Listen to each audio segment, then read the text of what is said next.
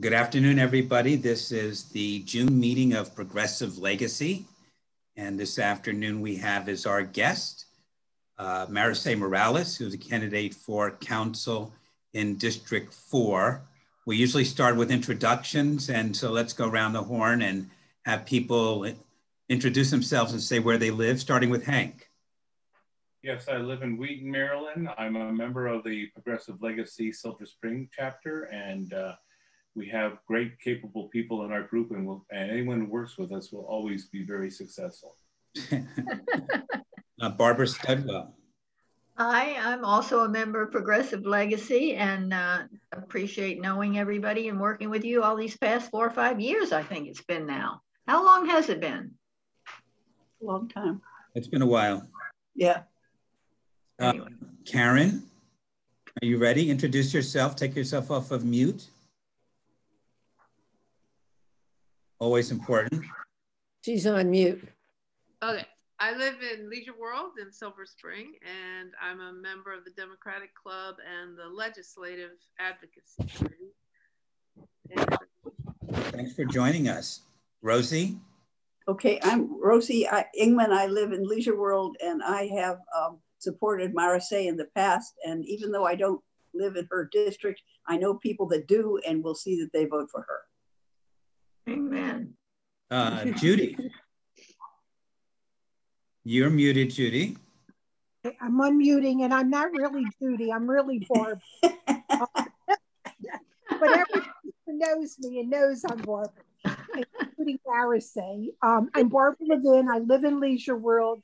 Mar- Marice knows exactly who I am because she's been to my house. um, and, um, I'm not a member of this group. I was invited to join in by Sandy Robinson this evening. I've been to a couple of your meetings. Um, I'm a member of the Democratic Club and also um, part of the advocacy committee of the Democratic Club. Thank you. And thank you for inviting me. You are you're a member now. Uh, thank you.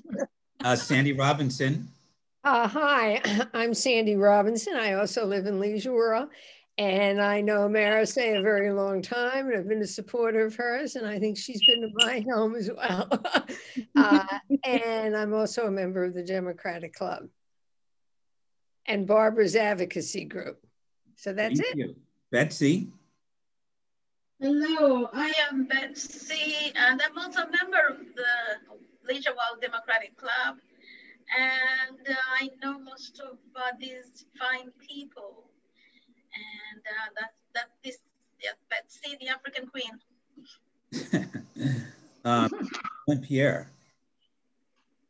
Hi everyone. Wonderful to see you as always. Wonderful to see Marice, I've known you for so long. I keep bumping into you outside of the county, which is quite interesting. In court. And, in court. Yeah, exactly. and I'm really looking forward to your candidacy. I'm not in your district, but you know, I'm there to support you in any way that I can. Uh, so it, I, I really am looking forward to hearing from you because I would love to see you and um, see what you could do on the county council. Thank you so much. You're welcome. Thank you, Marilyn. Uh, Rosamond, we're introducing Hi, good afternoon. Good afternoon. Where's Rosamond? Here. Oh, hi. How's everybody? We're doing fine. So without further ado, let's get into our program. Our special guest today is Marice Morales. Uh, she was elected to the Maryland House of Delegates in 2014 as the first Latina to represent District 19 in Montgomery County. During her time in Annapolis, she sponsored legislation to reform the criminal justice system, protect immigrant communities, and protect workers' rights. She received the Governor's Award for her work and trafficking, was recognized in 2019 as one of the top 100 most influential Latina leaders in the DC Maryland, and Virginia metropolitan area. Uh, Marice currently practices law in the greater Washington area, focusing on immigration, criminal defense, and personal injury law. And she's recently announced her candidacy for the Montgomery County Council in District 4. So without further ado, let me introduce our friend, uh, Marice Morales. Thank you so much, Alan. Thank you. And it's so wonderful to be reunited with all of you, all my my ladies, all my progressive fighters from Leisure World. And I, I believe I've been to every single one of your homes and um, you've fed me, you've fed my my volunteers, you've door knocked with me. We have um, we have done early voting together and just you know it's just so wonderful to see everybody again and you know when you have kind of that public service bug it's really difficult to shake it off um, and people would tell me, you know, well, Marice once you go into private practice and you start making some money, you may change your mind. And um, oh, here I am. And, you know, and I'm just so, um, I feel honored and, and privileged to be in the position to be able to run again. Um, I believe that, I believe that we need people that really have the heart, uh, the grit, um, and the compassion for you know the communities that we represent and and um, and it's something that I just my heart just just beats faster when I'm doing something um, to help uh, the lives of other people improve. So I just want to thank Alan um, and the Progressive Legacy Group for inviting me tonight. And um, that's that's right. I announced my my candidacy last last week. Actually, it's a, exactly a week ago. Um, we had 150 people, and I know that Rosie was there. We had a couple of, of other folks from Leisure World. Um, and Leisure World, as you all know, is a powerhouse for Democrats. So, um, you know, and you may, hey, you may be redrawn into my district. I mean, that's still up in the air, right? Um, um, but um, it's just been an honor to uh, have been able to work with you, represent you, um, and push for the things that that matter to you know our District 19 folks. And then obviously now in the new role in District 4. Um, for those, uh, for perhaps for those who uh, may not know a lot about me, um, when I was in District 4, I moved around a lot, and uh, housing affordability is an issue that I've always been an advocate for, um, and promoting first.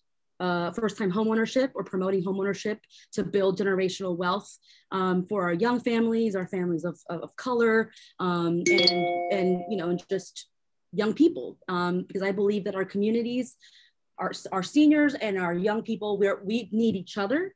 Um, we have we have you know the younger generations. We need them to bring in the revenue so that they can pay for the healthcare and the services that you know that our seniors may need and we and we we want to learn from our seniors and we want to make sure that our seniors are retiring here in montgomery county um, and you know there are a lot of european models that have shown this and i think for example, programs like uh, um, the villages that I know that Montgomery County under uh, um, County Executive Ike Leggett, that was something that was very popular among a lot of our neighborhoods. And I, I hope to continue kind of promoting that. We understand also that our neighborhoods are looking to have pedestrian focused, um, walkable um, infrastructure so that our seniors and our children alike can walk without the fear of getting run over because of just the uh, reckless eh, drivers that we have around. And, and I understand as well, you know, that these issues are complex. You have state roads, you have county roads, and I, I believe very humbly um, that with my experience in, at the state level, that we can harness those relationships. And, you know, and I always say, I've always said that the, one of my highest honors was to serve with Bonnie Cullison and Ben Kramer, um, your senator and your delegates. I did not have the honor to serve with, with Vaughn Stewart or with Charlotte Crutchfield, but I know that they've been doing really great work as well. Um, so just a little bit about kind of, because I, I asked Alan, you know, give me a little bit of a framework. What are folks, you know, looking to, to, to hear a little bit about? And I know that you all are as progressive as I am. I know that our hearts are all in the same place and just kind of the things that, um, that I was able to work on when I was in Annapolis. And then as I move forward um, to the county level, you know, at the end of the day, at the core of our legislative um, priorities are the values that we have and the, the things that matter most to our families, um, our seniors, you know, women, um, hardworking families. So I'm going to start, and it's no particular order whatsoever um, but just kind of in buckets of, of, of, of, things that I was able to kind of summarize for you all for today. Um, so one of the things that I noticed when I was in Annapolis was that unfortunately, there wasn't a platform for what we call the Women's Economic Agenda. And the reason why was because the Women's Caucus, um, and I know that um, I know that Barbara Levin knows this already because she spent a lot of time in Annapolis. Uh, the Women's Caucus is a bipartisan uh, group, and anything that had to do with, you know, family leave, sick leave, pay equity, any of any any of these economic issues that are important to to our women, to our families, and to our middle class, and expanding the middle class, just they were just written off. You know, it didn't really even even make sense to bring it to the Women's Caucus because the Republican folks, just ladies, were just not having it. So I identified an opportunity. I wouldn't say a gap. I would say an opportunity. And I created the Women's Rally. And uh, actually, Bonnie always reminds me because I'm not really good at tooting my own horn, but this is important because um, we want leaders that can identify things that are needed and that are risk takers and that are willing to implement you know programs that will serve the, the, the vulnerable right some of the things that we were able to work on and pass um, are, are include uh, the pay equity bill the working families act and again and you know your your your um, I know that we have some District 18 folks, District 19 folks, but you know this gives credit to the whole Montgomery County delegation. Um, we didn't pass, but we worked on the fair scheduling bill, um, we worked on uh, the expansion for protection of victims of, of extortion. Um, and this is important because we know that Montgomery County is a beautiful fabric of, you know, of um, individuals from all walks of life, immigrant as well. And so for, for folks that are undocumented, um, they continue to be exploited and in many ways extorted uh, to, the, to the point where employers will confiscate a passport until a job is done. And even then, um, they don't even actually um, follow through with pay. And that was something that we did with Senator Susan Lee. Um, and obviously the sick leave uh, for companies with you know 15 or more employees. Then going into women's health. Um, women's health, you know, I worked with NARAL on, on a number of these bills and Bonnie Cullison, um, it, you know, expanding healthcare coverage for um, a year's worth of, of reproductive you know of um of, of birth control. And um i know that this that this group may not be wondering about this but these are kinds of things that empower women right? And and and we believe that we should legislate with the values that we have and that is uh, to make sure that that there's equity also in healthcare something as simple as that. One of the bills that I was very proud of, and this is and this is for our seniors and for individuals who have long-term or maintenance prescription medicine, um, there were a number of bills that we were able to work together with Bonnie as well. Um, the synchronization of your of your prescription. So you know, cholesterol or blood blood pressure. You know, you have to you have to take it forever. So why not be able to synchronize it so you don't have to keep going every month? Um, now you can get up to 90 days of it, and for certain medicine you can get for up to six months. So that was that was that was a um, that was a great victory.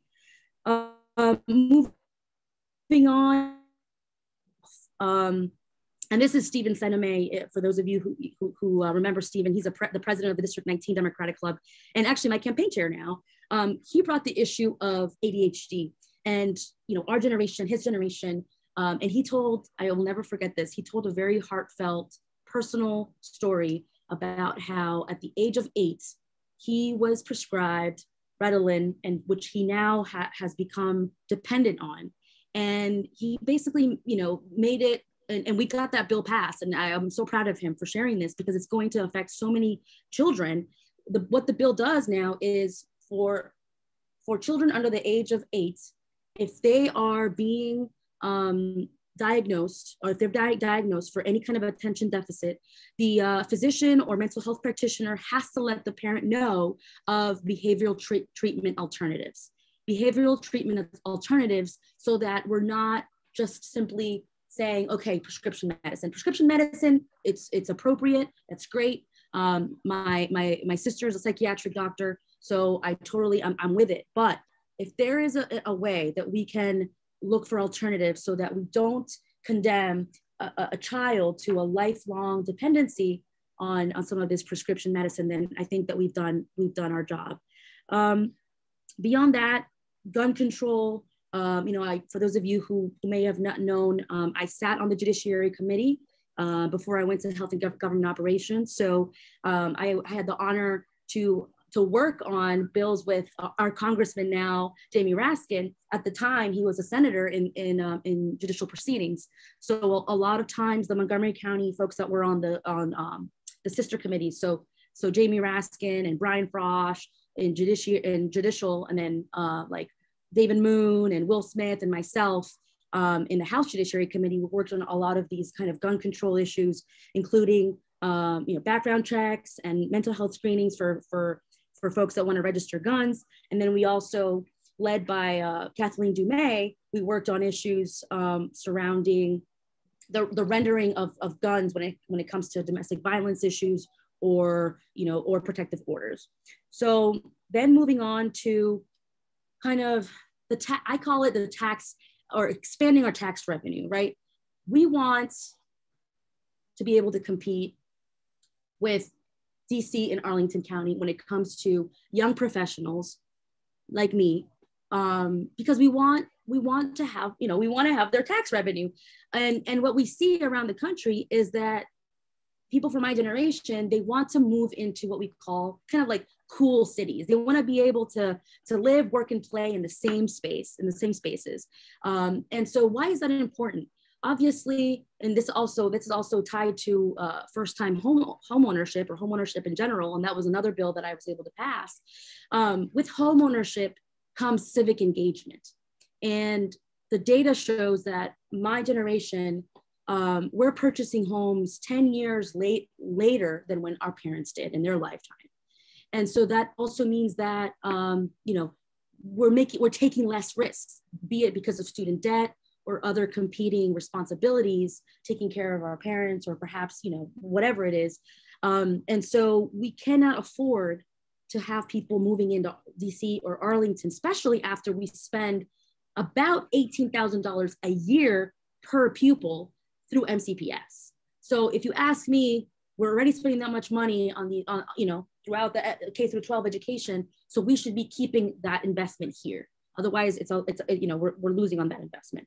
Um, with that also um, comes incentivizing the entrepreneurial spirit. And um, I have become, since I last saw you ladies, um, I have become a, a, small business owner myself. We're actually here at my solo practice and I have my, my paralegals in the next room. But one of the things that I noticed, and I'm an attorney. I mean, I'm, you know, I, am educated. I, I, don't know how folks have the wherewithal to find all of the different state agencies that you have to go to to you know get your your small your small business registered you know go through the comptroller's office to get your you know your, your payroll um, kick started all the different uh, property taxes that you need to pay et cetera et cetera and with you know the entrepreneurial spirit and innovation that also speaks to making sure that we're you know keeping young people and and innovative folks here in the county instead of losing our investment because a lot of a lot of folks end up going to New York City or California. No, we want here. We want them here so that they can contribute to the tax base um, and we can again continue to support. It's, more, it's um, actually the opposite. We only oh, want oh, a few people to be seen. We don't want the audience to be seen because we don't have releases. And then, you know, there are lawyers in there, and the next thing you know, Okay. that always happens. That, that, always happens. Okay. So then, um, and then this, this takes me, I already mentioned the walkable communities. Um, and, um, sorry, that threw me off a little bit, but that's okay. Um, we worked on, oh, right. We, childcare is a huge issue. So uh, uh, under uh, Delegate Ariana Kelly's leadership, we worked on expanding childcare subsidy. We, Maryland still scores really low. Um, in, in comparison to other states. So that's there's, there's still a little bit more work to do there. Um, but you know, we advance on that. Um, and then when it comes to just the environment and transportation, um, you know, I have a hundred percent um, LCV score every single year. Uh, very proud of our work around funding the, the BRT and the Purple Line. Um, we worked on the moratorium on fracking. That a, a, lot of you ladies were actually at Annapolis. Um, you advocated for this. You lobbied everybody. You testified. I just I just love you guys so much for all your activism. Um, um but yeah, no, I think I've spoken enough.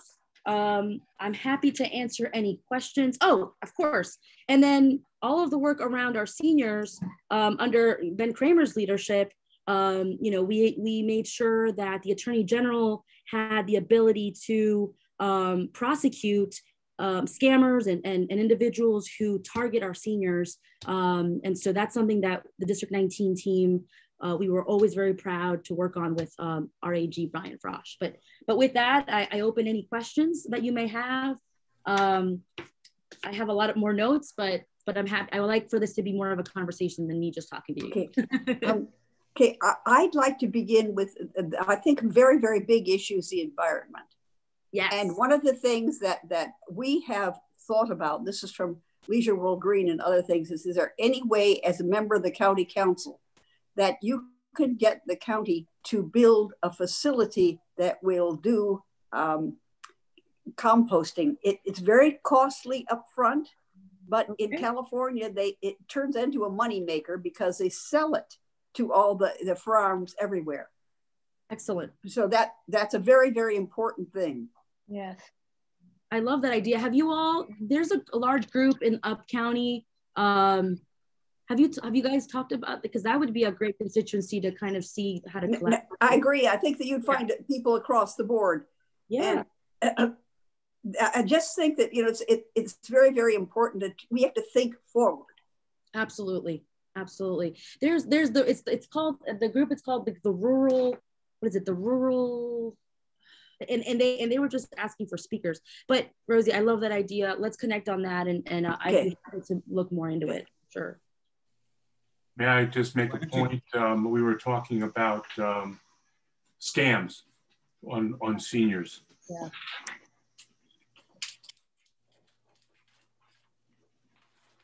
This came in the mail today. They say we owe $113. Now I do the books we don't owe anybody $113. Yeah. But if but if we, we we act right away, we can we can we can pay it off with $74. Oh my God. I can imagine if you're if you're sort of a daughter like most people after a certain age, this kind of thing scares the crap out of you. You know, now how did I screw that one up? And then call them up and they have, you know, the noose that you put your neck into, and they just say, "We we got you now." and then you know it's it's a scam. Yeah. My my mother-in-law was just asked what her um, social not Social Security, her Medicare number was, and my wife has been spending hours on, on, on untethering those people from her accounts. Yeah. I think we have to really make this a priority in our aging yeah. population. Could you, could you could you email that to me, Henrik? i am happy to provide you my email. Um, I want to know because th- there was another scam that was going around calling people uh, claiming that you had missed your jury your jury duty and that you had to pay two thousand dollars to the sheriff. Oh boy! You don't have to pay anything. yeah, I get so, I get Social Security uh, phone calls all the time where they're they're going to attach my property, and, and i call them up and they wish they never bothered calling me because I know what they're doing they're not supposed to call if they're having a problem. But I just right. wanted to insert that. Please, let's go on. Hank, what's the letterhead on that letter you got? Phoenix Financial. Just a made up thing. Oh, yeah. Yeah. Hey, could we ask good. Betsy Katiti to speak? Mm-hmm. Will you tell her about the Nelson Mandela project, please? Oh, okay. Okay, okay, nice to meet you, uh, Maurice. We have been for a while, actually going back to the Leggett, the Leggett era. We have been trying to get public space named after uh, Nelson Mandela, okay. you know, so that his legacy can live on and young people growing up can know who he was, all that he did to spend 27 years in prison to fight apartheid in South Africa. Mm-hmm. I think that's a very important lesson that young people need to know about. So if there is anything that you think we can do to make that a reality and make it happen, please, please let us know. Sure. Is there is there a property or a, a space in mind that you all have? So Marice, let me help you with this. Yeah. So the county policy is not to name any public space after somebody who's not connected with the county. Mm. Right. So, so, we've gone to the county council and uh, you know, they're all supportive, but they haven't done anything yet. In the conversation we had last month with uh, Lorig Charkoudian, we asked her to see if there were some state properties in yeah. Montgomery yeah. County yeah. That might be renamed mm-hmm. for uh, Nelson Mandela. But I have something which might be right in your alley, and I'm remiss because I did not share this with you before. Okay. Um, you're still on the board of Montgomery College? Yes, I am. So one of the things that we were interested in, there's a park in the Takoma Park Silver Spring campus near the art building. Oh, yeah. Um, and uh, I contacted Brad Stewart and he said, well, you know, there's some strict rules about that, but if a member of the Board of Trustees of Montgomery College uh, proposed a resolution, then the Board of Trustees together could vote to uh, name a particular piece of property um, for uh, somebody else. So uh, I would just commend that ah. attention that I think that's in your purview as a trustee of Montgomery College, that you could introduce a board resolution to uh, name some Montgomery College uh, space for Nelson Mandela, and we hope you'll follow up on that. That's a great idea, and actually, you you took the you took the words right out of my mouth because I know that College Park has pretty uh, a pretty diverse um, list of names for different of the, the, different buildings throughout the campus. So I, I don't see why that would be an issue. I would say though, um, as you know, Dr. Pollard has uh, has stepped down and she is now at a school out in Nevada. And so we're actually in the process of appointing the interim president. Um, so we are we are kind of you know uh, working on that. Um, but I'm happy to present it um, as we prepare for the next academic year. Um, and, you know, and I won't say if, I'll say when I make it to the finish line as, uh, uh, as District 4 council member, I will have to step down because there's a conflict of interest. But I'm happy to, I'm happy to get this ball rolling and talk to whoever I need to speak to to see how we can make it work. Yeah, please check with Brad Stewart because he's already had that conversation and seems to be pretty knowledgeable about that. Uh, moving on. Excellent. Moving on, as you uh, enter this campaign for uh, District 4, are there special areas that you're sharing with uh, constituents that would be your priority when you become a council member? Yes, absolutely. So right now we're just working off of the current the, the current map because that's the only thing that we can that we can work off of. Um, so I actually have the map right here and my field team, it's obviously too small to show you all, but we have targeted the district um, based on voter turnout. And you'll see that just, you know, right around Leisure World and Lay Hill Road and Plaza del Mercado, Aspen Hill, uh, Wheaton, Glenmont, we have a, you know, large, large number of turnout there. And that was the heart, that was District 19. All, You know, that, I mean, I, I know that those areas in and out.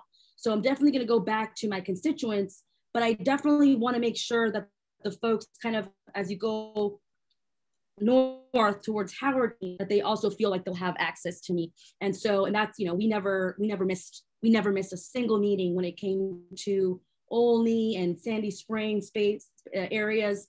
Um, in that area, we we share with uh, the District 4, the, the, the, the District 14 delegation. Um, so to the extent that you all have connections, you know, kind of going upward a little bit, like Olney Sandy Spring, um, you know, happy to try to engage and identify folks to have little meet and greets.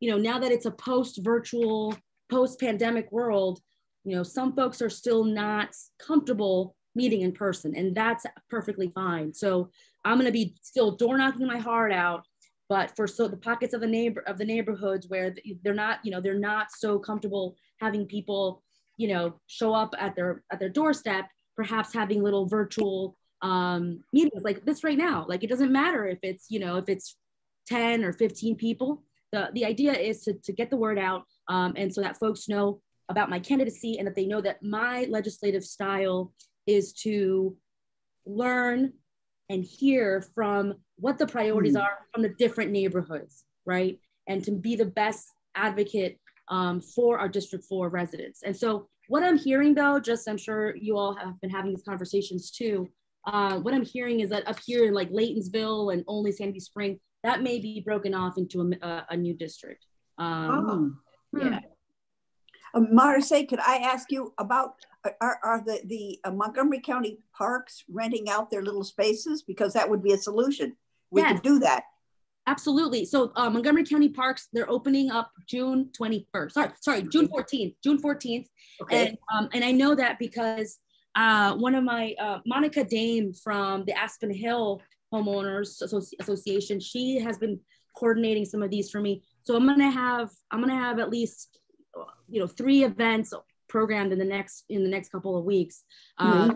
At the Aspen Hill Library, the Aspen Hill Library officially opens mm. April, uh, June 14th. Mm-hmm. Then um, the Wheaton, uh, the Wheaton Regional Park, and then and then Mid County, Mid County Queens Guard. So then maybe that, oh. yeah, and that's very close to, to, to you all. Yeah.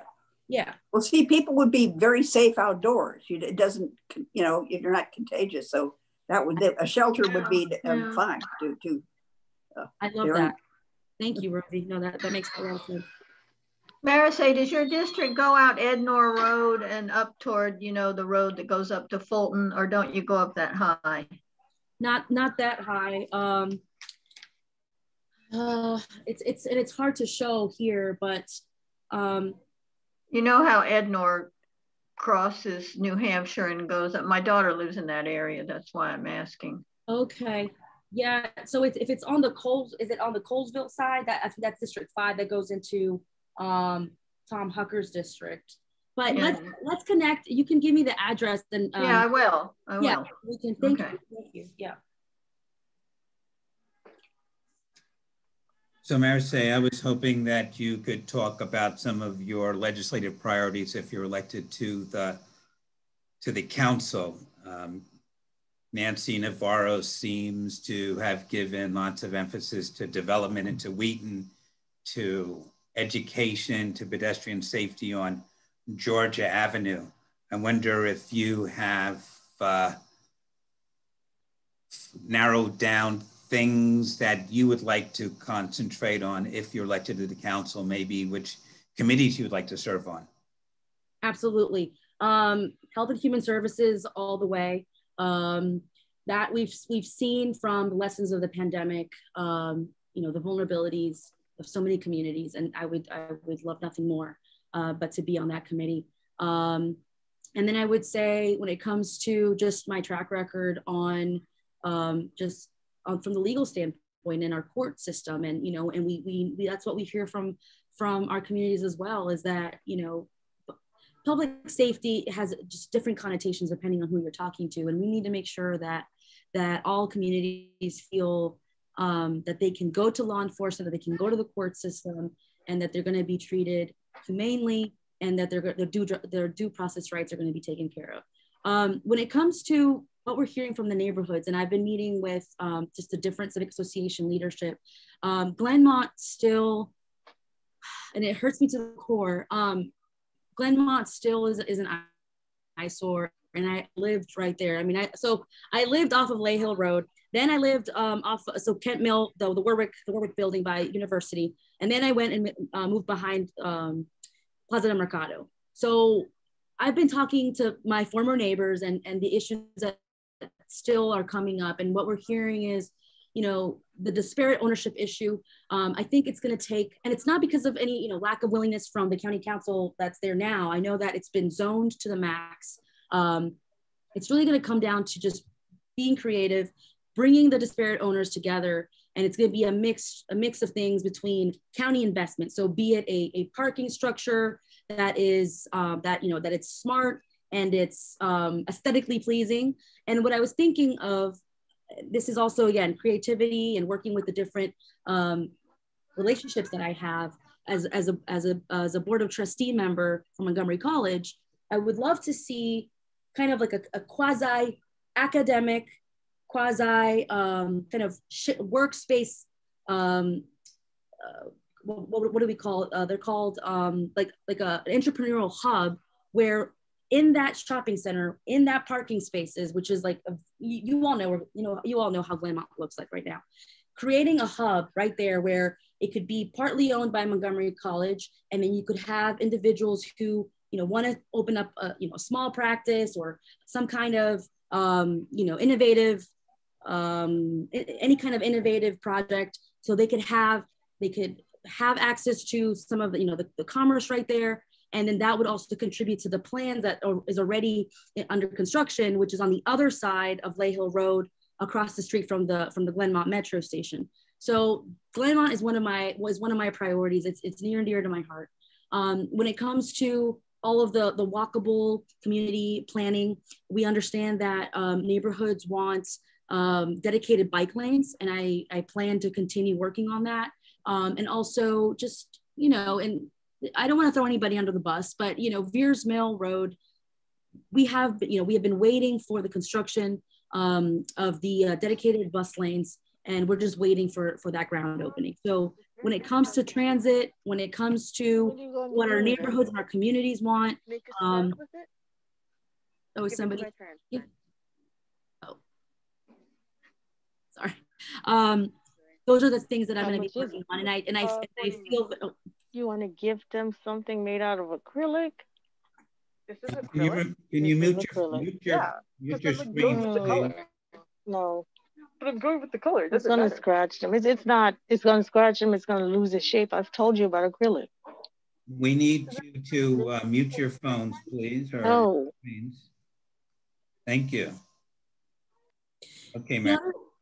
Yeah, no. And the other things that we've been hearing from our um, from our, our families that have children in school. So um, I hear from the Kennedy High School precincts, that area, those neighborhoods, for whatever reason, um, our young ones are asking to be placed at the Einstein High School. And so to the extent that we can work with um, the Board of Education and MCPS to make sure that we're utilizing our schools to, to their, you know, to their um, full potential, I think you know that's a no-brainer, um, and that that feeds into just the the um, just the, the the environment that we have in those neighborhoods behind Glenmont and, and Randolph Road, and um, we want to make sure that you know that our schools are being utilized and that our and that our children are uh, college ready. And again, so just obviously the county council doesn't have a say in the curriculum, et cetera, but to the extent that I can be an advocate for what I'm hearing from our constituents and work together, um, that is that is definitely a priority. And some of the things that I talked about earlier, um, uh, you know, continuing to um, invest in kind of uh, you know making the county a place where we can make sure that our seniors can retire safely and um, and and you know and, and stay in our communities and also attract young families and entrepreneurs to extend uh, the tax base um, you know, that's kind of the things that I want to make sure that folks, when they think about Marice, because we're all progressive, right? And so then one of the things that I, the feedback that I'm getting from the different Democratic leader, leaders throughout the, the county that I've been working, that I've been talking to is, Marice, you know, how are you different? Because everybody says they're progressive and, and how are you different? And so then that's kind of the, what the message for, for those of you that are inspired to support my campaign. Um, I have a vision for the future where like I said, our, our seniors can retire and can age in place and, and that we continue to attract young people. We can't afford to lose young people to Arlington County or Fairfax County. We need to find ways to keep them here. And I can speak that firsthand because I've become a homeowner, I've become a, a small business owner, and you know, our small businesses are the engines of our local economy. And I, and I believe that wholeheartedly. I think one of the things you might also say that you'd like to do is to put in more charging stations all around this area. Oh, I love that. Yeah. Good idea. And I know that the, the, the, the tax incentive, unfortunately, is no longer there. The tax credit um, for uh, hybrid cars and the Teslas, because I, I, looked into that. So perhaps working with the delegation, that, that would be state level. Um, but yeah, um, no, thank you. Thank you, Rosie. I think that that's a great idea. So Marison, let me ask you this. Your uh, district, District 4 is one of, like five, is one of the most diverse um, councilmatic districts in the county, as you mentioned at the outset, with people from all over the world, speaking many, many different languages. How are you going to reach out to um, Spanish speaking communities and to the immigrant African community and some of the diverse people who live in your neighborhood? Thank you, Alan. No, that that's wonderful. That's a wonderful question, and um, I'm I'm trilingual.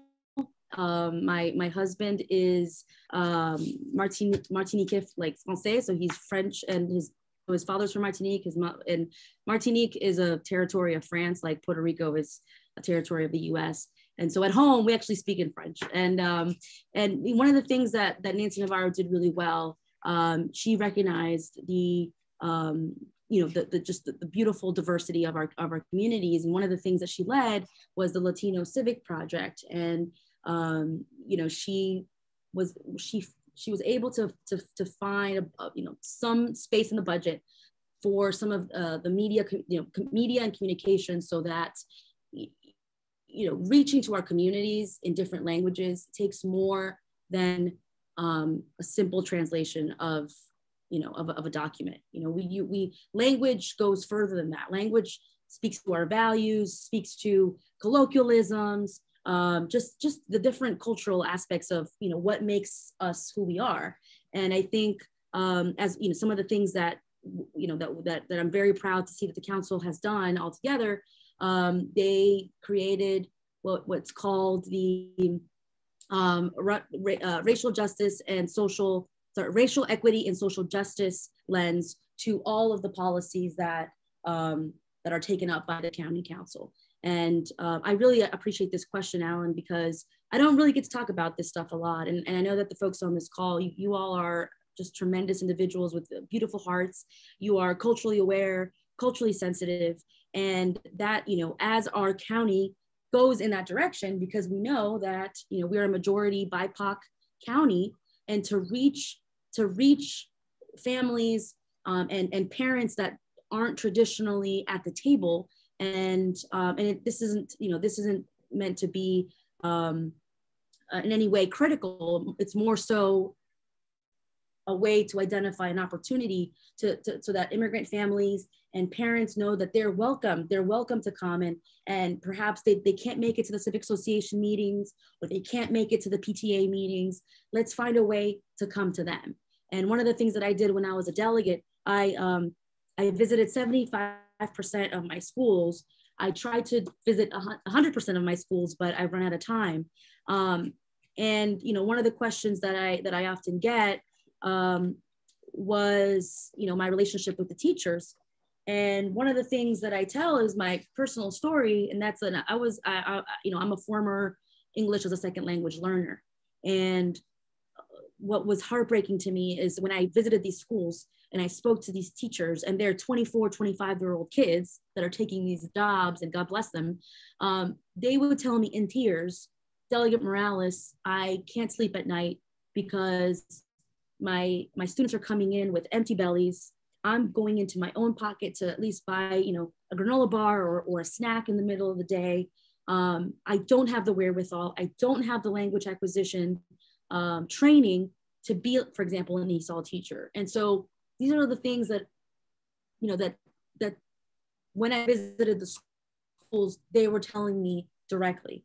And to Alan's point, if we want to make sure, if we want to ensure that all our children succeed, then we need to really prioritize this. And again, this is a, a board of ed issue, but I'm an ally, I'm a resource, and the future of this county depends on how well prepared all of our youth are. The quicker they can get out of ESOL, the quicker they learn English, and that's not rocket science, um, the quicker they're going to be prepared for advanced placement and and and have time to you know to to study their SATs to then go to college if that's what they choose to do or go to Montgomery College which is a great institution. Um, and and then now going you know with our and we actually just um, I would say like two weeks two or three weeks ago we voted to to, to start the plans um, in East County to have an East County campus for um, for Montgomery College so when it comes to language and understanding the differences from our you know the, the beautiful fabric of our county um, it's about not just translating a document, but meeting our families where they are. Um, and right now, and I'll end with this, um, I'm just going all over our District 4 and beyond um, right now, meeting families for, you know, for vaccination sites, at food distribution sites. And it's just, I mean, it's just so overwhel- overwhelming to see the need, the need that these families have.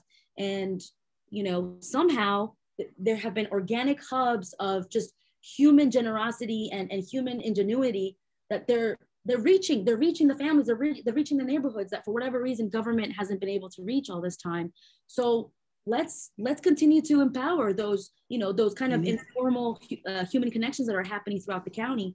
I think i think there's phenomenal um, talent intelligence and nat- uh, national treasures right here in montgomery county. And i believe that we can you know we can utilize that um, you know even at the county council level. May, may i say one thing though? Uh, they, I know that they've stopped um, the the um, throwing people out of their homes. And our friend Dayu, who I don't think is on this this uh, call, you know, you used to drive up uh, um, uh, Bel Pre and you'd see people's things out in the rain. And she told me that the district does not allow that. I think that would be a very good uh, little law to pass in, in Montgomery County. You do not evict when it's raining you don't mind. I think that's just makes sense to me. Yeah, it's cruel enough to be evicted.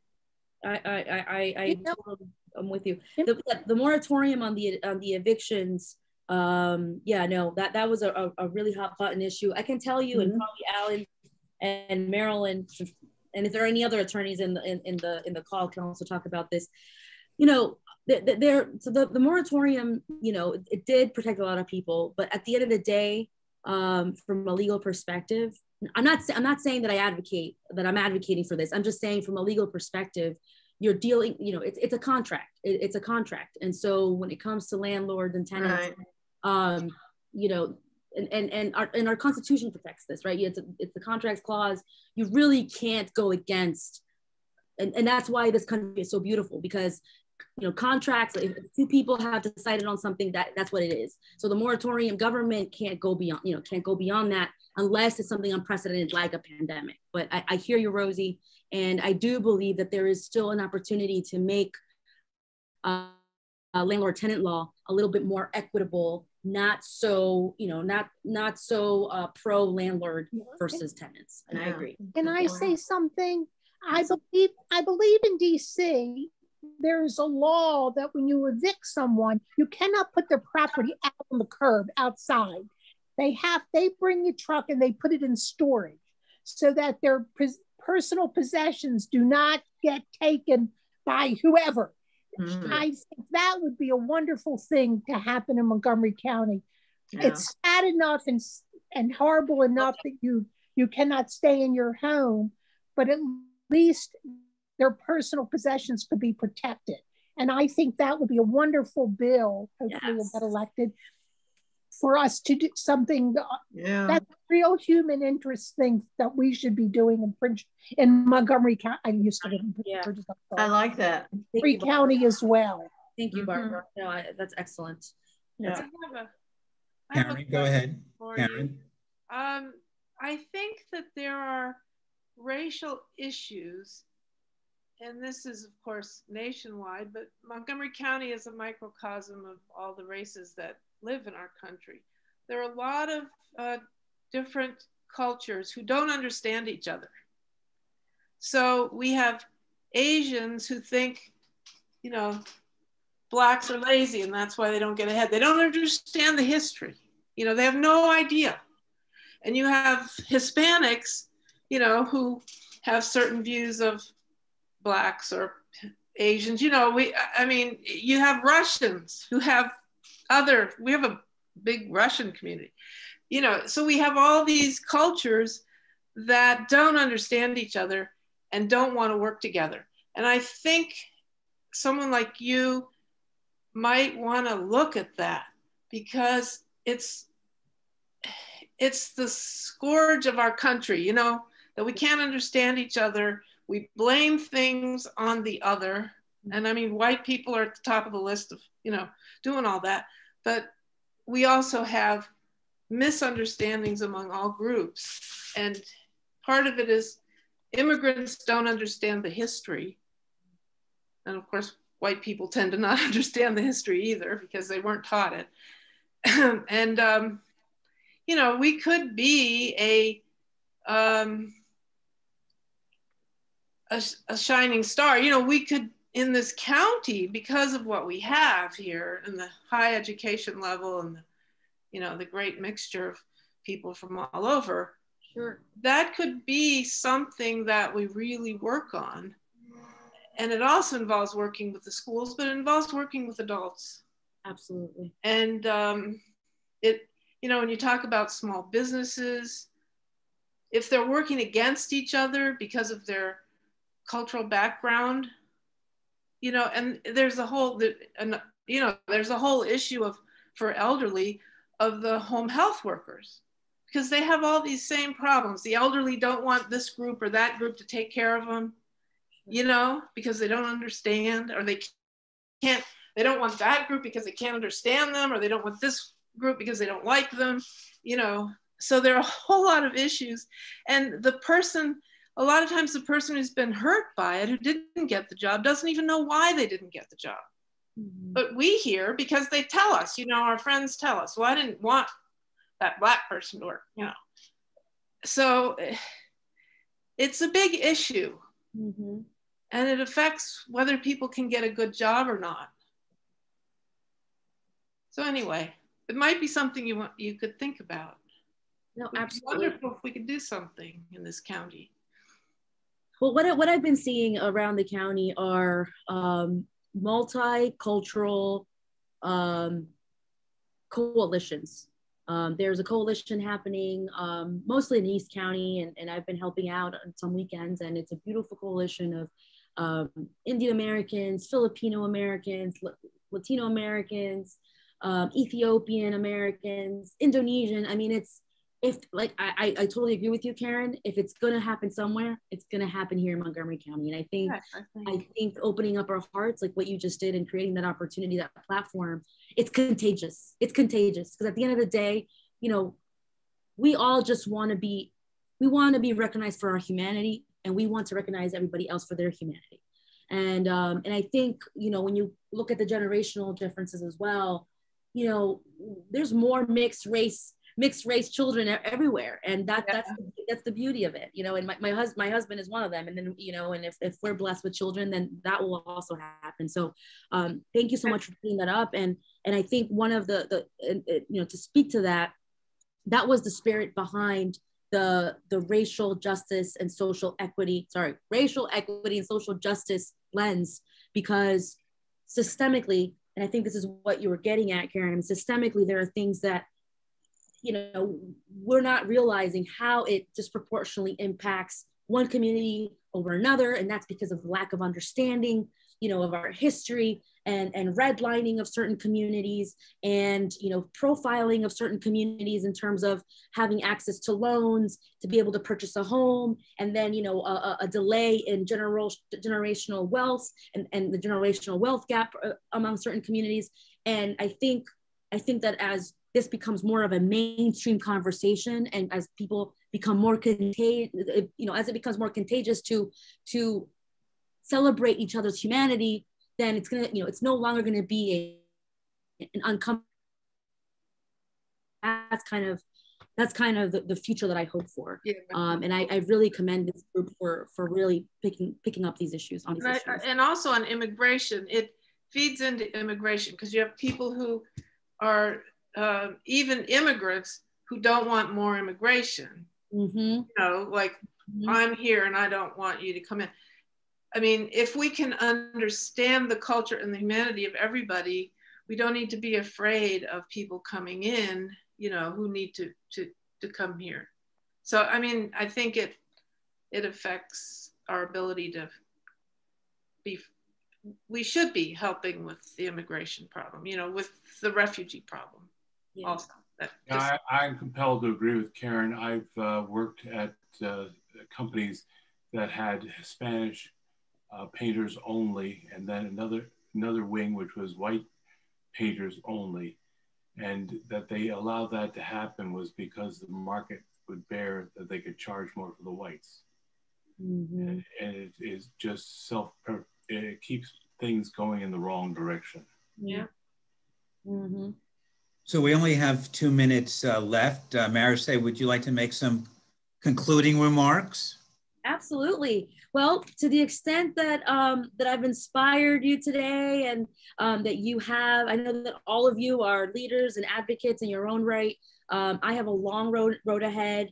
Um, you know that the primary is June 28th of 2022, um, and I will be I will be using public financing, so I won't be taking money from PACs or corporations. Um, and so I'm very happy that we have that program. At the at, at the same time, it's also it's also very limiting. Um, and I want to make sure that I'm crossing my T's and dotting my I's. Um, so you know, to the extent that you all can contribute, or yourselves, or a family member, or whatever, or etc. There's no low contribution in my book. The highest contribution is two hundred fifty dollars and I do need 125 folks to qualify for public finance.